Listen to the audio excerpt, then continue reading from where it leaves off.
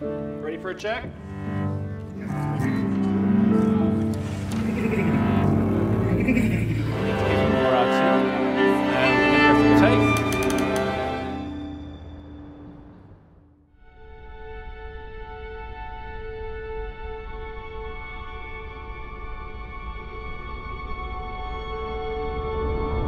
When the first rains fell, the earth awakened.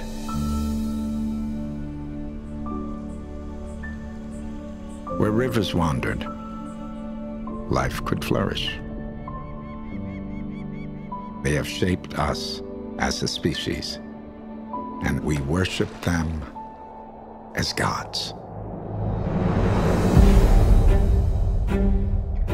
Today, there's scarcely a river unspanned, undammed, or undiverted.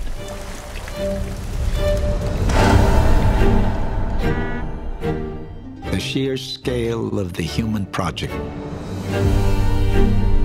has begun to overwhelm the world's rivers. Our gods have become our subjects.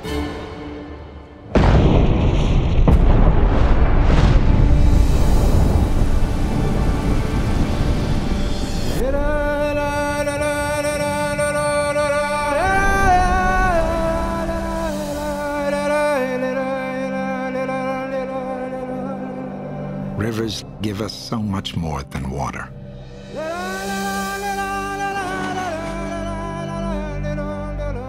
They have flowed through our lives as surely as they have flowed through places.